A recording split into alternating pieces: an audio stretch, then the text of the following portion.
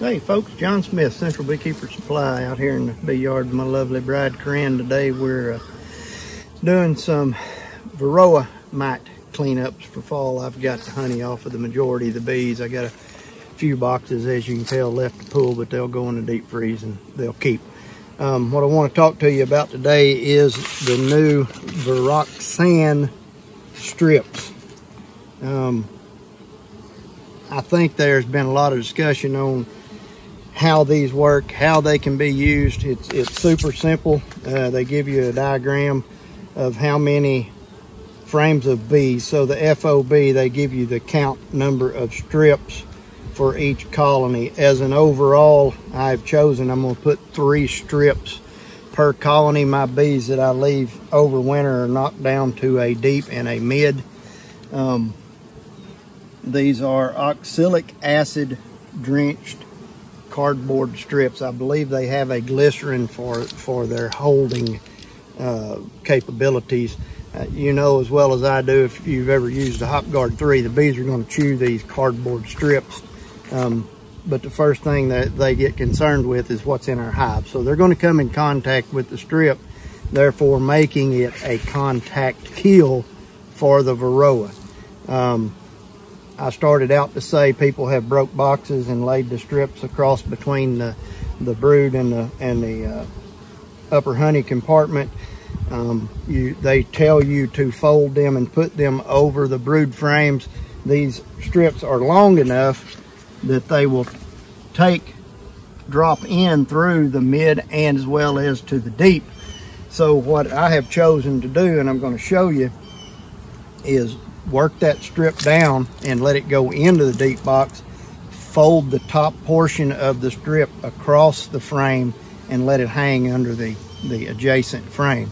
And when I put my inner covers back on if if the bees move that loose the inner cover should catch it.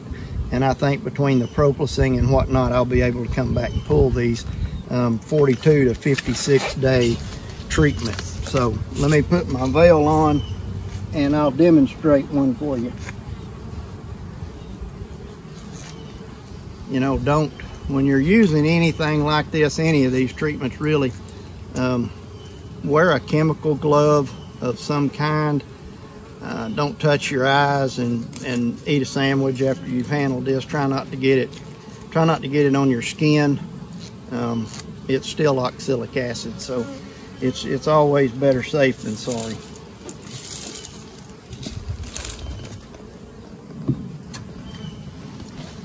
You're, you're also going to notice I don't have the smoker out here with me. Um, these bees have been in a nectar flow for about a week now. They're uh, carrying honey, so they're they're in pretty happy shape. They've already sealed up. Most of them have really propolised up for winter. Although um, it's still hot here. I think yes. it's 90 today. Supposed to be up to 90 today and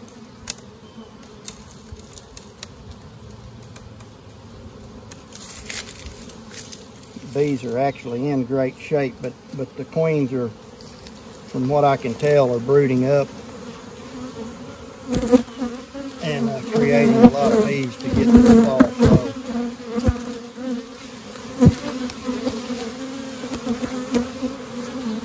Now that there's no queen excluder on here, I always give that inner cover a quick look to make sure she's not on it.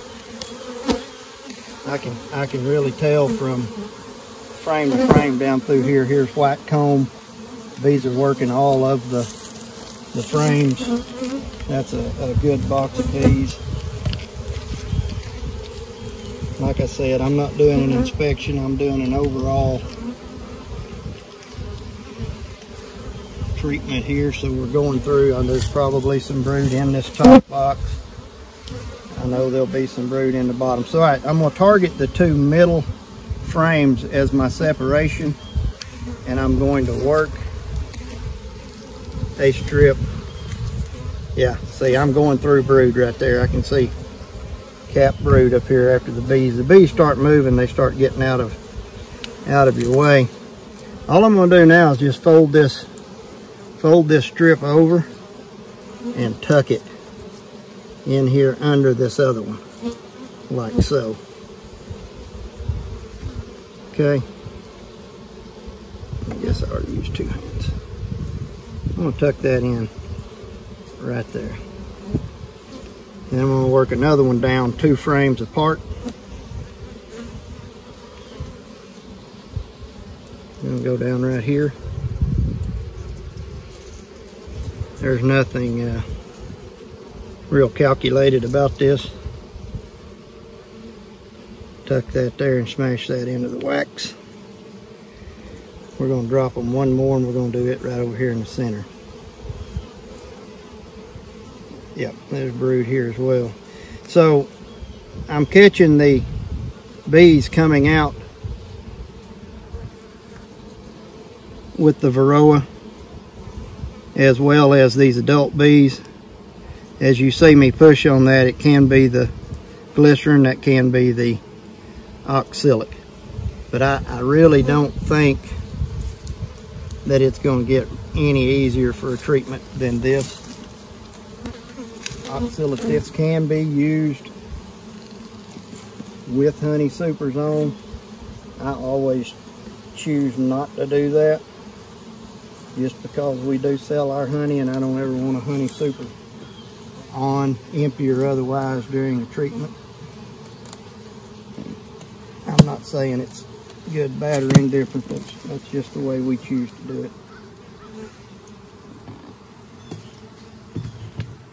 All right, that's uh, that's literally how easy this treatment can be applied. Um, I, I, hope you've gained some knowledge from this. I, I really think that this will be a great treatment. I do know that you're going to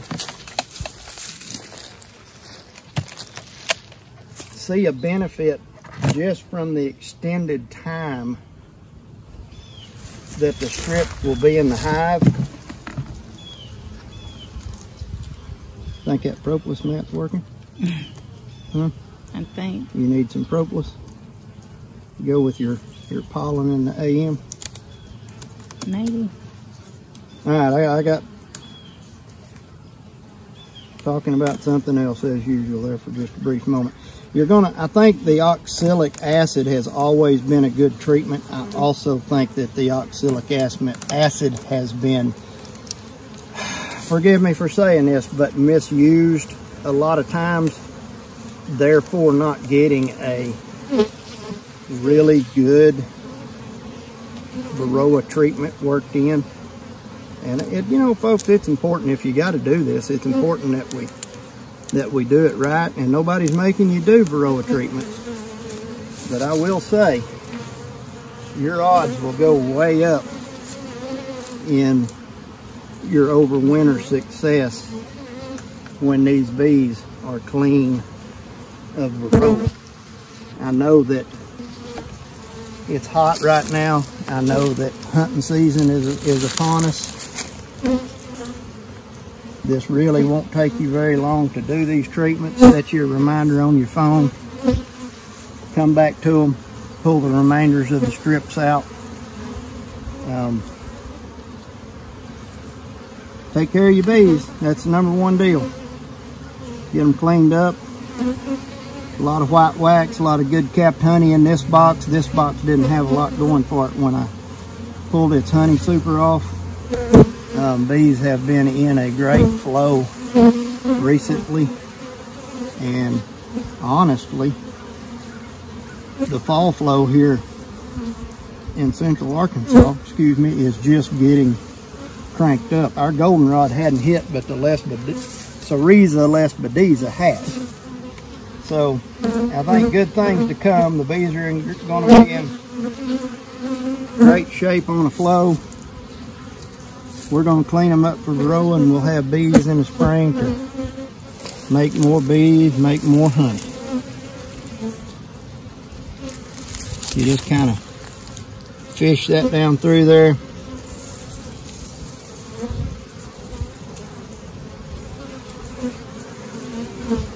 Get it in a good spot. Try not to get these any closer than than two frames.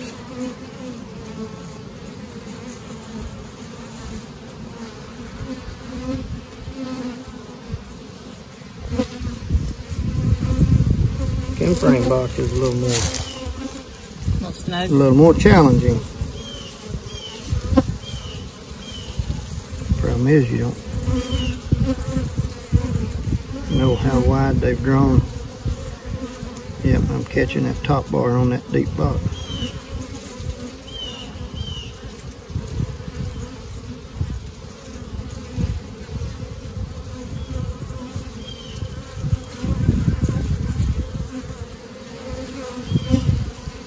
Okay. Let's do something different.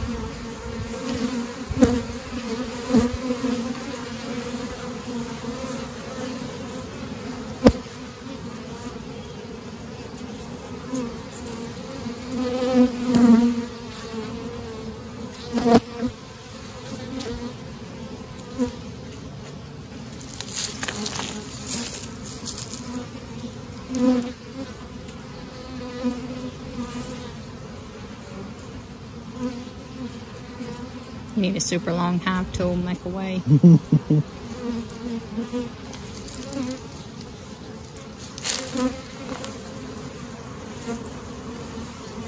All right, girls, step aside, step aside.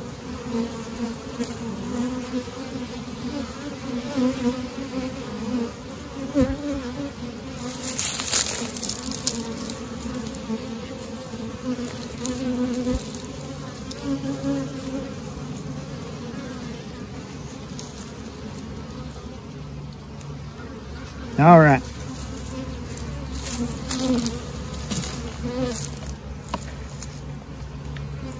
Super, super messy, girls.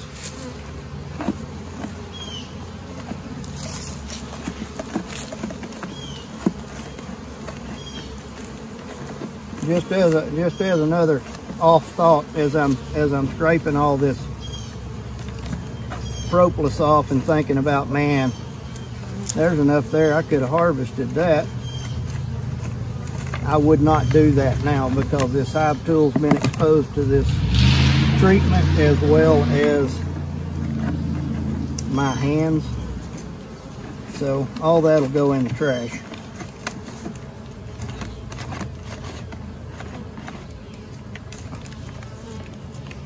So all you nail folks out there, remember that when you go to do this keep everything clean till you get your propolis. You can stick that mat in the freezer and then that propolis comes off a lot easier. It becomes brittle.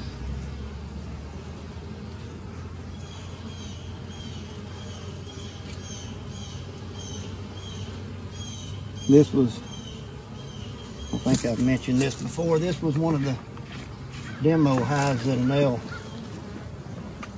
sent me to use, experiment, and play with, and of course it become chorus. And all that's fine and neither here nor there, but I will say that they have actually improved, and if it was possible, they have improved the covers, the propolis mats, I should say, by quite a lot. They're a lot stiffer, more rigid now, easier to use. These first ones are a little bit soft.